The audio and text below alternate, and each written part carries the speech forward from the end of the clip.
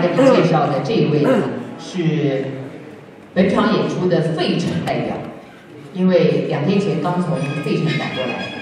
他呢是芝加哥大学的博士学位，同时呢也是研究中国古代文学的助理教授。所以此人呢对唱戏非常有知识性，喜欢研究。同时，他也是中国戏曲理论专家刘增富先生的学生，跟他一块学习了《乌盆记》这个戏，他不断的临摹复制，听老唱片。